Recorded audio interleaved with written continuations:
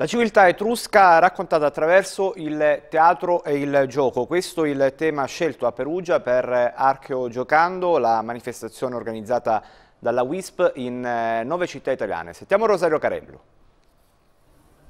Un tuffo nella civiltà etrusca, un tempo lontano che all'improvviso prende vita con i ragazzi di oggi, quelli della scuola media di Ponte San Giovanni, impegnati in momenti di vita quotidiana, in costume appunto etrusco. Una giornata apparentemente normale fin quando arriva la notizia. I nemici sono alle nostre porte, alle porte di Perusia, dichiarazione di guerra, lotta, vittoria. Quasi mai la storia viene raccontata così, lo fanno ora nove città italiane italiane con la WISP, l'Unione Italiana Sport per Tutti e Archeo Giocando. Ogni città un tema, Perugia scelto appunto gli Etruschi. Un lavoro che da ottobre si è concluso ora con 80 ragazzi impegnati nel racconto della grande storia, la guerra, ma anche le piccole vicende di una giornata normale, la danza, gli sport. Abbiamo lavorato al palazzetto facendo gli sport antichi e poi siamo stati all'ipogeo volumni, abbiamo visitato le tombe, studiato anche sempre gli sport antichi proprio nei luoghi dove erano praticati